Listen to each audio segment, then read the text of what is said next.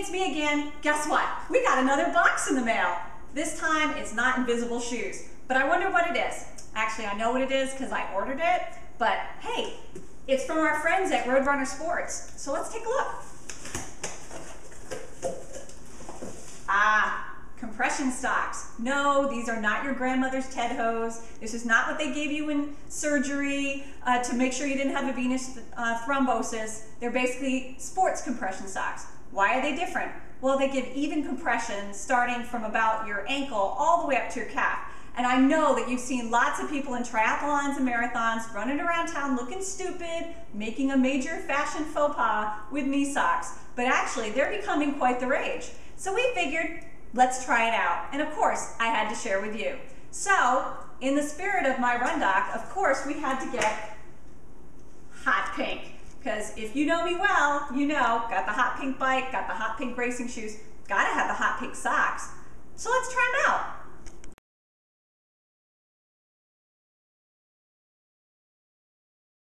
Okay, so it turns out that there is quite a bit of research on these compression stocks. Who knew? Um, in 2007, there was a great study that came out that basically showed, hey, you know, they really do stimulate blood flow, so they help in recovery. But in that particular study, they didn't really help people run faster. Hmm. But, of course, that made other people go to the drawing board and see whether or not they could figure it out. And a bunch of research came out in 2009 to today that basically shows that compression socks improve running performance and it focuses basically on the physiological and biomechanical support of the lower legs. What the heck does that mean? Well, it means that they enhance your venous return to your heart, so the blood comes back to your heart faster and more efficiently, and it leads to increased endurance capacity. In fact, one study showed, and this is a great one, that there's a increase of resting circulation by 30%. So just sitting around in compression stocks, you actually get 30% increased circulation.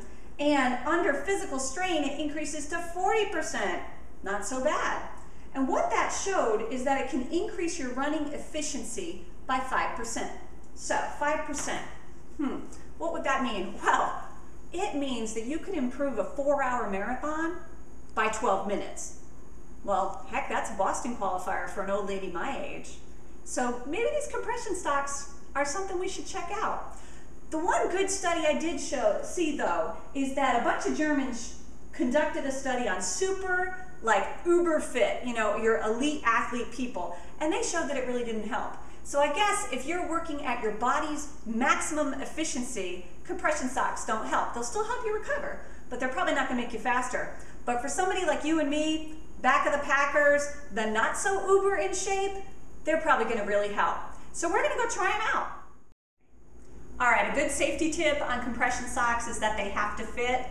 Don't do what I did, which is basically order the smallest size that they make, figuring I'm an extra small in everything. And of course they're pink.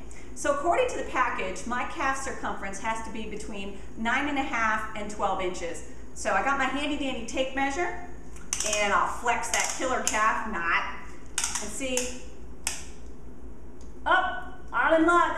I'm 11 and a half inches, so I'm good. So these should fit. The other thing is that supposedly they're super tight. So let's see. Oh yeah. Love the pink. Oh, another good safety tip, they're marked left and right, and I just put the left on the right. So let's try that again. Ooh, they're hard to get off.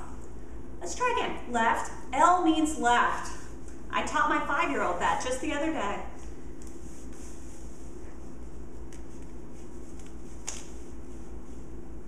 That's nice and snug. Now, interestingly, is they don't seem to compress the foot too much, so I don't think I'm going to have trouble with like my foot going to sleep by compressing my dorsal nerve, but they're really nice and compressive starting up here and going up the calf. And this feels like a pretty good fit to me. Ooh, look, R means right. So if you have two left feet, you're in trouble.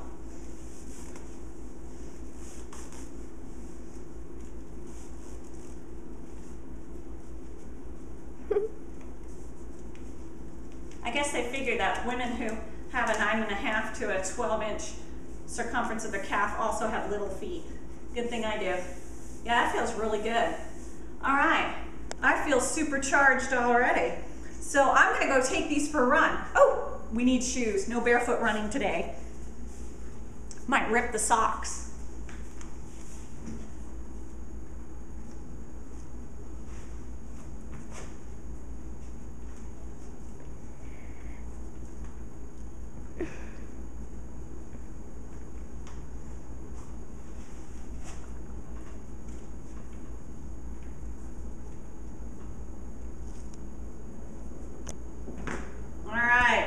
Now that is a fashion statement. I make fun of my father for wearing socks and sandals, so I may have to forgive him for that if I'm gonna run around in these. So I'll see you soon, I'm going running. All right, I'm back. And you know what?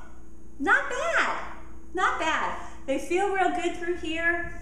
Got real good calf compression, definitely the right size. At the beginning, I felt like I was getting squeezed, but then as I warmed up, it felt good. They don't get too hot. They actually breathe pretty well. So I would say if they're gonna give me an extra 5% on my marathon time, why not?